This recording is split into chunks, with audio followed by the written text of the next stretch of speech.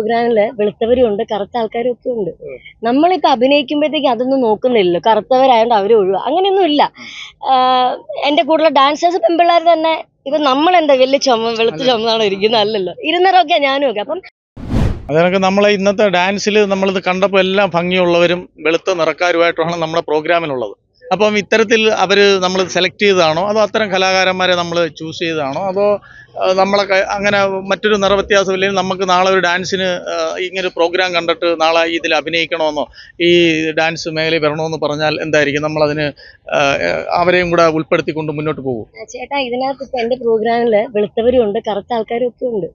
നമ്മളിപ്പോ അഭിനയിക്കുമ്പോഴത്തേക്ക് അതൊന്നും നോക്കുന്നില്ലല്ലോ. കറുത്തവരായതുകൊണ്ട് അവരും ഒഴിവാ. അങ്ങനെയൊന്നും ഇല്ല. എന്റെ എന്റെ കൂടുതൽ ഡാൻസേഴ്സ് പെൺപിള്ളേർ തന്നെ ഇപ്പൊ നമ്മൾ എന്താ വലിയ ചുമ വെളുത്ത ചുമന്നാണോ ഇരിക്കുന്നത്. അല്ലല്ലോ. ഇരുന്നറൊക്കെ ഞാനും ഒക്കെ. അപ്പം എന്റെ കൂടെ വരുന്ന ധാരാളം പിള്ളേരൊക്കെ ഉണ്ട് ഇരുനിറം കറുത്ത കുട്ടികളൊക്കെ ഉണ്ട്. പക്ഷെ നമ്മൾ അതൊന്നും നോക്കുന്നില്ല. നമുക്ക് കുഞ്ഞുങ്ങളെ നന്നായിട്ട് പ്രാക്ടീസ് ചെയ്യിപ്പിക്കുക ചെയ്യിക്കുക അങ്ങനെയുള്ള പിന്നെ ഞങ്ങളുടെ ഇതിനകത്തെന്ന് പറയുന്നത് ഞങ്ങൾ മേക്കപ്പിന് വലിയ ഇമ്പോർട്ടൻസ് കൊടുക്കുന്നില്ല. അങ്ങനെ ഭയങ്കരമായിട്ട് വലിച്ച് ഇപ്പം നമ്മുടെ ലൈറ്റ്സ് തന്നെ ഞങ്ങൾ പുതിയ രീതിയിലുള്ള ലൈറ്റ്സ് ആണ് നമ്മൾ ഉപയോഗിച്ചിരിക്കുന്നത്. ഈ അടിച്ച് മേക്കപ്പ് ഇട്ട് അങ്ങനെയൊന്നുമില്ല. ഒറിജിനൽ ടോൺ തന്നെ ഇപ്പം കറ- കറുത്ത കുഞ്ഞുങ്ങളാണെങ്കിൽ ആ ഒരു ചെറിയൊരു ആ കറുത്ത ആ ഒരു അങ്ങനെ തന്നെയാണ് നമ്മൾ കാണിക്കുന്നത്. അല്ലാതെ അവരെ ഉടനെ അങ്ങനെ അങ്ങനെയില്ല. അപ്പം അങ്ങനെയുള്ളവരും നമ്മുടെ കൂടെ നമ്മളിതൊന്നും നമ്മൾ കുഞ്ഞ് അവരെ മാക്സിമം പ്രൊമോട്ട് ഇപ്പം എന്റെ കൂടെ സഹകരിക്കുന്ന കംപ്ലീറ്റ് പേരെയും അവർക്ക് ഒരു ഇതുകൊണ്ട് മാത്രം ജീവിക്കുന്ന ആൾക്കാരുണ്ട് ഇതിനകത്ത്. കുട്ടികളാണെങ്കിലും അതുപോലെ തന്നെ ടെക്നീഷ്യൻസ് ഒക്കെ ആണെങ്കിലും അപ്പം നമ്മൾ അവരെ മാക്സിമം നമുക്ക് പ്രോഗ്രാംസ് ചെയ്തു കൊടുക്കുക. ഇത് മാത്രമേ നമ്മൾ നോക്കൂ. നമ്മൾ വേറെ ഒരു തരത്തിലുള്ള കാര്യങ്ങൾ നമ്മൾ ചിന്തിക്കുന്നില്ല. നമുക്ക് എനിക്ക് അതിനോട് ഒന്നും ഒരു താല്പര്യമില്ല. നമ്മൾ മാക്സിമം കുഞ്ഞുങ്ങളെ സപ്പോർട്ട് ചെയ്യുക. അവർക്ക് വേണ്ട കാര്യങ്ങൾ ചെയ്തു കൊടുക്കുക. അങ്ങനെയാണ് ഇന്ന് നമ്മളോടൊപ്പം പ്രശസ്ത സിനിമ സീരിയൽ താരവും ഡാൻസറുമായ ശ്രീ ഷാലു മേനോനാണ് നമ്മളോടൊപ്പം ഉള്ളത് ശാലു മേനോട് ചോദിക്കാം. ഇവിടെ ഈ പരിപാടി പ്രോഗ്രാം തുടങ്ങുന്നതിന് മുമ്പ് ഇവിടുത്തെ കമ്മിറ്റി അംഗങ്ങളെല്ലാം ഒരു ആദരവ് തരികയുണ്ടായി. ഇത്തരം ആദരവുകൾ കലാകാരന്മാർക്കും കലാകാരിക്കും പ്രത്യേകിച്ച് ശ്രീ ശാലു മേനോന് ഇത്തരം ആദരവുകൾ നമുക്ക് കിട്ടാറുണ്ടോ? അതോ കിട്ടിയതിനെക്കുറിച്ച് എന്താണ് പറയുന്നത്? ആദരവുകൾ കിട്ടാറുണ്ട്. സാധാരണ നമ്മൾ ഈ പ്രോഗ്രാം തുടങ്ങുന്നതിന് മുമ്പ് ഭദ്രദീപം തെളിയിക്കാറുണ്ട് ചില ക്ഷേത്രങ്ങളിൽ ഇതുപോലെ തന്നെ പൊന്നാട അണിയിച്ച് ആദരിക്കാറുണ്ട്. അതൊക്കെ ഒരു കലാകാരിയെ സംബന്ധിച്ച് ഏറ്റവും വലിയൊരു ഭാഗ്യമല്ലേ അത് കിട്ടാറുണ്ട്. വളരെയധികം നമുക്ക് ഒരു ഭാഗ്യമായിട്ട് കാണുന്ന ഒരാളാണ് ഞാൻ. അതിന്. ഇന്ന് നമ്മൾ ഈ പ്രോഗ്രാം കണ്ടപ്പോൾ ഇടവേള ഇല്ലാത്ത ഒരു പ്രോഗ്രാമാണ് നമുക്ക് കാണാൻ സാധിച്ചത്. ഇന്ന് ആ കഥയുടെ സാന്നിധ്യം എന്ന് പറയുന്നത് കഥാ പശ്ചാത്തലം. മഹാഭാരതത്തിന് മുമ്പുള്ള ഒരു കഥയാണ്. രാജാ രവിവർമ്മയുടെ ചിത്രങ്ങളിൽ കൂടാണ് നമ്മൾ ഈ ദേവേന്ദ്രന്മാരെയും ഭഗവാന്റെയും രാജാവിന്റെയും രാജകുമാരന്മാരൊക്കെ എങ്ങനെയാണ് ഇരിക്കുന്നത് എന്നുള്ള ചിത്രം നമ്മുടെ എല്ലാം മനസ്സിലുള്ളത്. പക്ഷേ ഇന്ന് നമ്മൾ ഇന്ന് ഈ ഗാന ഈ ഒരു ഡാൻസ് നമ്മളല്ലെങ്കിൽ ഡാൻസും നാടകവും ഒക്കെ എല്ലാം കൂടെ ഒരുമിച്ചുള്ള ഇത് കണ്ടപ്പോൾ ആ രാജാവായിട്ട് വരുന്ന ഒരു കലാകാരന്മാരെല്ലാം മികവുറ്റ ശാരീരികമായിട്ടും അഭിനയം കൊണ്ടും മികവുറ്റ കലാകാരന്മാരായിട്ടാണ് നമുക്ക് കാണാൻ കഴിഞ്ഞത്. ഇത്തരം കലാകാരന്മാരെ എങ്ങനെയാണ് ഈ നമ്മുടെ ഈ ട്രൂപ്പിലുള്ളത് മുൻകാലങ്ങളിൽ വളരെ വർഷക്കാലമായിട്ട് നമ്മുടെ കൂടുള്ളതാണോ അതോ ഇവർ ഇത്രയും നല്ലൊരു കലാകാരന്മാരെ ആ കാഴ്ചയ്ക്കും കഥാപാത്രത്തിനും അനുയോജ്യമായ കലാകാരന്മാരെ എവിടുന്നാണ് സംഘടിപ്പിച്ചതെന്ന് അതിശയമായിട്ട് ഞാൻ ചോദിക്കുകയാണ്. നമ്മളുടെ ഈ എന്റെ തൃപ്പൂ അപ്പൂപ്പനാണ് തൃപ്പൂണിത്ത് ഞങ്ങക്ക് ഞങ്ങൾക്കിപ്പം അറുപത്തി മൂന്നാമത്തെ വർഷമാണ് ഈ ജയ കേരള എന്നുള്ള ഈ ബാലെ നമ്മൾ കൊണ്ടുപോകുന്നത് അപ്പം അതിൽ ശരിക്കും അപ്പൂപ്പൻ തുടങ്ങിയപ്പോൾ തൊട്ടുള്ള ധാരാളം ആൾക്കാർ മരിച്ചുപോയവരുണ്ട്. ഇപ്പോഴും ജീവിച്ചിരിപ്പവരുണ്ട്. പക്ഷെ അതിനകത്തൊരു ഞങ്ങളുടെ ഇപ്പം ഈ ഇപ്പം ചെയ്യുന്ന ഈ രൗദ്രമുഖി എന്നുള്ള ഈ നൃത്തശില്പത്തിനകത്ത് ഒരു ഇരുപത്തഞ്ച് മുപ്പത് വർഷമായ രണ്ടാൾ ഒരു ലേഡി ആർട്ടിസ്റ്റും ഉണ്ട്. അതുപോലെ തന്നെ ഒരു ചേട്ടനും ഉണ്ട്. ഇവരൊക്കെ പത്ത് മുപ്പത് മുപ്പത്തഞ്ച് വർഷമായിട്ട് നമ്മളോട് ഉള്ളവർ തന്നെയായിരുന്നു. അവർക്ക് ഇവിടെ തന്നെ നിന്ന് ഇവിടെ തന്നെ പ്രോഗ്രാം ചെയ്ത് ഇവിടെ തന്നെ സ്റ്റേജിൽ തന്നെ മരിക്കണം എന്ന് ആഗ്രഹമുള്ളവരായിരുന്നു ഇപ്പം ആ രണ്ടുപേര് പിന്നെ ഉള്ളവരൊക്കെ ഏകദേശം എനിക്ക് തോന്നുന്നു ഒരു പത്ത് വർഷം പതിനഞ്ച് വർഷം ഒക്കെ ആയിട്ട് നമ്മുടെ കൂടെ തന്നെ എല്ലാ വർഷവും. ഞാനിപ്പോൾ വളരെ കുറച്ച് നാളായിരുന്നു ഈ ഇങ്ങനത്തെ പ്രോഗ്രാംസ് ചെയ്യാൻ തുടങ്ങിയത്. അപ്പം തൊട്ട് ഇവരെല്ലാവരും ഉണ്ട്. ഈ ടീമിൽ അപ്പം പിന്നെ വളരെ ഒന്നോ രണ്ടോ പേരൊക്കെ നമ്മൾ പുറത്തുനിന്ന് ആർട്ടിസ്റ്റുകളിൽ എടുക്കാറുള്ളൂ. അത് വളരെ സെലക്ട് ചെയ്ത് എടുക്കാറുണ്ട് നമ്മൾ ഈ എന്റെ അപ്പൂപ്പനൊക്കെ പണ്ട് തൊട്ട് ചെയ്ത് തന്ന ഈ ക്യാരക്ടറെ ഓരോ ക്യാരക്ടറിനെ ഫിക്സ് ചെയ്യുന്നത് ഭയങ്കര ആപ്റ്റാണ്. എല്ലാവരും പറഞ്ഞു കേട്ടിട്ടുണ്ട് ഇങ്ങനെ. ഓരോ ഇപ്പോൾ രാജാ ഇന്നൊരു അസുരനാണെങ്കിൽ കറക്റ്റ് അസുരനായിട്ടുള്ളൊരു അത് അതെപ്പോഴും നമ്മൾ ഒരാളെ സെലക്ട് ചെയ്യുകയാണെങ്കിൽ പോലും നമ്മളത് നോക്കാറുണ്ട്. കാരണം ക്യാരക്ടറിന് ഇണങ്ങിയ ഒരാളല്ലെങ്കിൽ ജനങ്ങൾക്ക് അക്സെപ്റ്റ് അക്സെപ്റ്റ് ചെയ്യില്ല. ഇപ്പോൾ സിനിമയിലാണെങ്കിലും സീരിയലാണെങ്കിൽ പോലും അങ്ങനെയുള്ള ഒരു കഥാപാത്രം അതിന് കറക്റ്റ് അല്ല എങ്കിൽ ആൾക്കാർക്ക് അത് ഇഷ്ടപ്പെടും. അപ്പോൾ എന്ന് പറഞ്ഞ പോലെ നമ്മളും ഇത് വളരെ അത് വർഷങ്ങളായിട്ട് ഇപ്പം ഞാനായിട്ട് ചെയ്യുന്നതല്ല.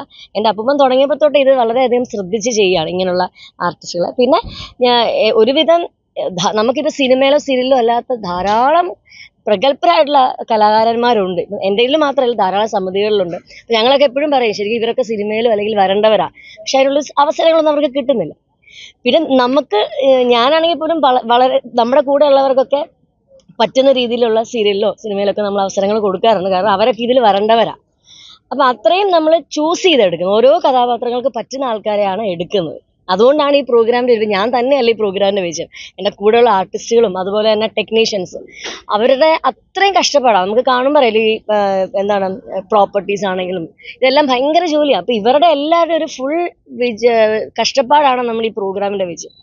നാടകം അഭിനയിക്കുന്നവരുണ്ട് ഗാനമേളയിൽ പാടുന്നവരുണ്ട് മിമിക്രി ചെയ്യുന്നവരുണ്ട്. ഇവർക്കെല്ലാം നമ്മുടെ ശാരീരികമായിട്ട് വലിയ അധ്വാനം വരുന്നത് കലയല്ല. പക്ഷേ നൃത്തം എന്ന് പറയുന്നത് ശാരീരികമായി വളരെയധികം നമ്മുടെ ശരീരത്തിന് വ്യായാമം പോലെ ഒരു വളരെ അഭ്യാസ മുറവുകൾ പോലെ കൊണ്ടുവരുന്ന ഒരു കാര്യമാണ്. അപ്പോൾ ആ നൃത്തം ആ മേഖലയിൽ എത്തിപ്പെട്ടുകൊണ്ട് മനസ് മാനസികമായിട്ട് നമുക്കൊരു ശാരീരിക എക്സസൈസ് പോലെ വളരെ സന്തോഷകരമായിട്ട് ആ മേഖലയിൽ എത്തിപ്പെട്ടുകൊണ്ട് നമുക്ക് മനസ്സിനധികം സന്തോഷമുണ്ടോ? അല്ലെങ്കിൽ നാടകം മാത്രം മതിയായിരുന്നു? അല്ലെങ്കിൽ നമുക്ക് പാടാനൊരു കഴിവില്ലാത്തതിന്റെ വിഷമം. പക്ഷേ ഈ ഡാൻസ് മേഖലയിൽ വന്നത് മികച്ച ഒരു കാര്യമായിട്ട് കരുതുന്നുണ്ടോ? തീർച്ചയായിട്ടും. ഡാൻസ് എന്ന് പറയുന്നത് ശരിക്കും നമ്മുടെ ഒരു പാഷനാണ് അതൊക്കെ നൃത്തം എന്ന് പറയുന്നത്. അപ്പം അത് ഇപ്പം ബോഡി വണ്ണം കുറയ്ക്കുക അതിലൊക്കെ ഉപരി നമ്മുടെ ഒരു സന്തോഷമാണ്. അല്ലെങ്കിൽ നൃത്തം മാക്സിമം ഒരിക്കലും തീരത്തില്ലാത്തൊരു കലയായി. കടൽ പോലെ ഇങ്ങനെ കടക്ക.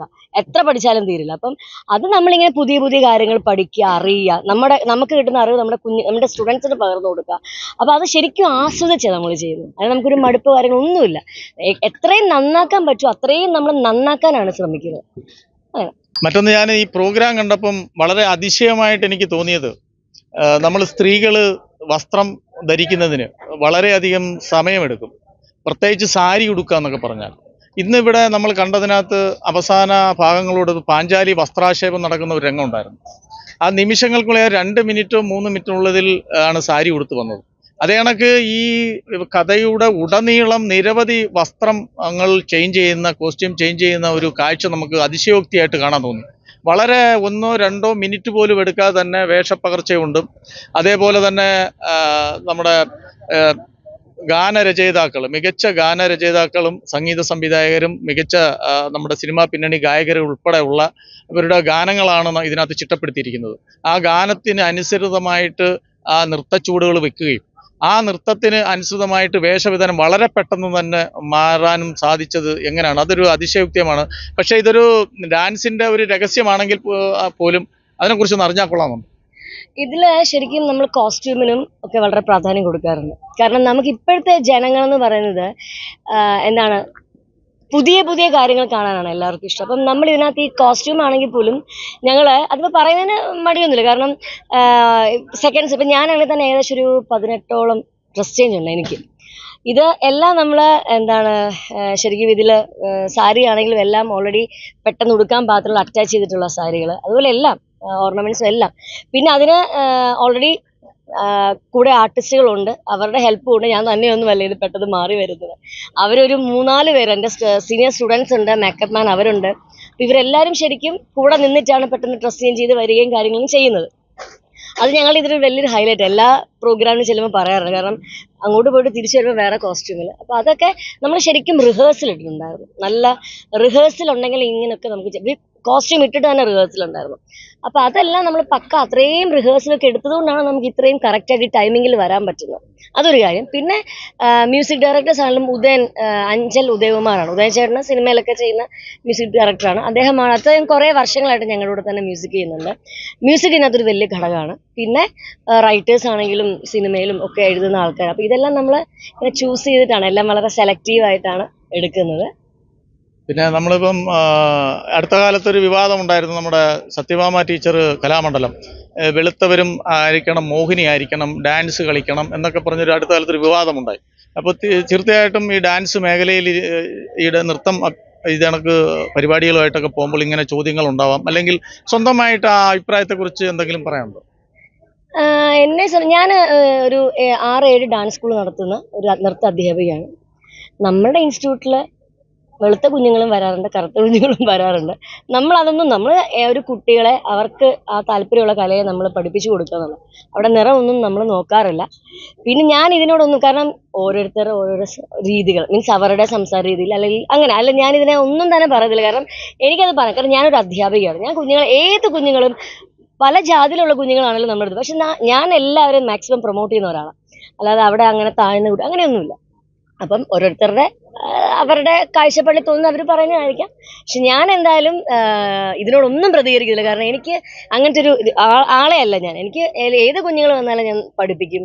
അല്ലാതെ പണമുള്ളവരെന്നോ അല്ല ഇത് അങ്ങനെയൊന്നുമില്ല. നമുക്ക് കുട്ടികൾക്ക് മാക്സിമം നമുക്കറിയാവുന്ന കല പറഞ്ഞു കൊടുക്കുക എന്നുള്ള ഒരു അധ്യാപിക ഒരു കലാകാരുടെ ചുമതല ഏതാണ്. അത് ഞാൻ ഫോളോ ചെയ്യുന്നത് കണ്ട പ്രോഗ്രാം വളരെ മികച്ച നല്ല രീതിയിൽ. കാര്യം വെച്ചാൽ ഈ ഇരുട്ടത്തും ഇതിന്റെ കോസ്റ്റ്യൂമോടൊപ്പം തന്നെ അതിന്റെ നമ്മുടെ ഛായാഗ്രഹണമായിട്ടുള്ള കാര്യങ്ങളിലൊക്കെ ഈ ഡാൻസും നൃത്തവും യുദ്ധവും ഒക്കെ ശ്രദ്ധിച്ച് കയറിയില്ലെങ്കിൽ പോലും മറിഞ്ഞു വീഴ് നമ്മൾ വളരെ ശ്രദ്ധയോടെ നോക്കുമ്പോൾ ഇതെങ്ങനെ സാധിക്കുന്നു എന്നുള്ള ഒരു അതിശയകരമായിട്ടുള്ള ഒരു ജയകേരള ചങ്ങനാശ്ശേരിയുടെ പേരെന്താ നമ്മുടെ നൃത്ത?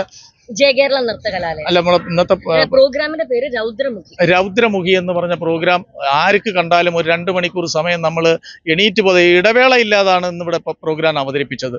അത്തരത്തിൽ ഇപ്പോഴത്തെ കാലഘട്ടത്തിനനുസരിച്ച് നമ്മുടെ നമ്മുടെ ക്ഷേത്രങ്ങളിലാവട്ടെ ഒരു പ്രോഗ്രാം നടത്തുമ്പോൾ നമുക്ക് അഭിമാനത്തോടു കൂടി ആ പ്രോഗ്രാം കണ്ട് സംതൃപ്തിയോടെ കുടുംബമായിട്ട് വന്നത് കണ്ടുപോകാൻ പറ്റുന്ന നല്ല ഒരു പ്രോഗ്രാമായിട്ടാണ് നമുക്ക് ഇത്. വളരെ യുക്തിപൂർവവും വളരെ എല്ലാവരും ഒരുമിച്ച് നിന്ന് അത് ചെയ്തെങ്കിൽ മാത്രമേ വളരെ സ്ട്രെയിൻ എടുത്ത് വളരെ ആസ്വദിച്ച് എൻജോയ് ചെയ്താണ് അവർ ആ പ്രോഗ്രാം ചെയ്തിരിക്കുന്നത്.